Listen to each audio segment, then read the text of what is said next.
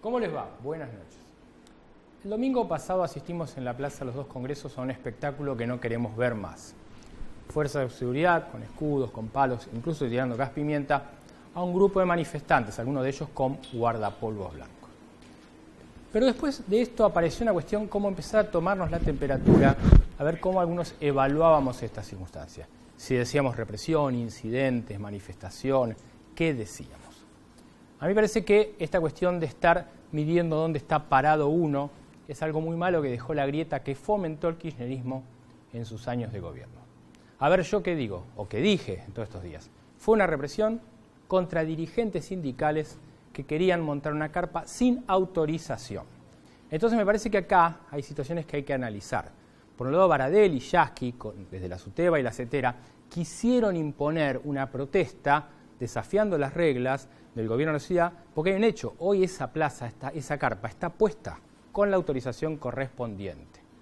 Pero creo que tanto la SUTEBA como la CETERA estaban forzando una situación porque evidentemente el paro docente ya no da para más. 17 días de huelga en la Ciudad de Buenos Aires. En Neuquén, 22 días, chicos, sin clases.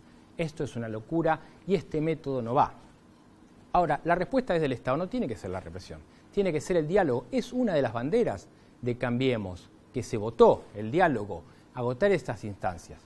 También es cierto, y lo hemos visto en el 1A, que un montón de gente pide resolver ya los piquetes, las protestas, e incluso sostiene y avala estos modos.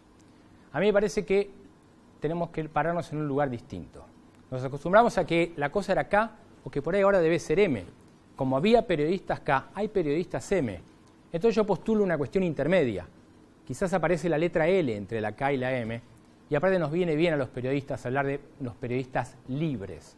Eso es lo que tenemos que hacer. Decir las cosas como son, hablar de represión, criticar al gobierno, al que pasó a este, y decir libremente porque este país es el que queremos en la Argentina. Vamos a hablar con hombres de distinta tendencia política.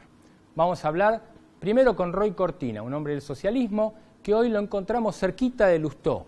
Bueno, vamos a hablar un poco de esta competencia impensada hasta hace pocos días que incluso le hizo perder una apuesta al presidente que pensaba que se quedaba como embajador en Estados Unidos.